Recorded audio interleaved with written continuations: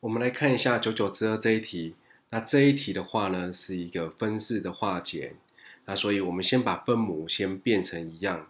所以一开始呢，分母就选择这个六，那这边就变两倍，二 x 减二。那这边呢乘三，减掉九 x，好，那这边也是减的哦，所以这边要减三。那最后再加上这个六，所以我们整理一下呢，就会得到六分之负七 x 再加一。所以答案就是这个选项 D。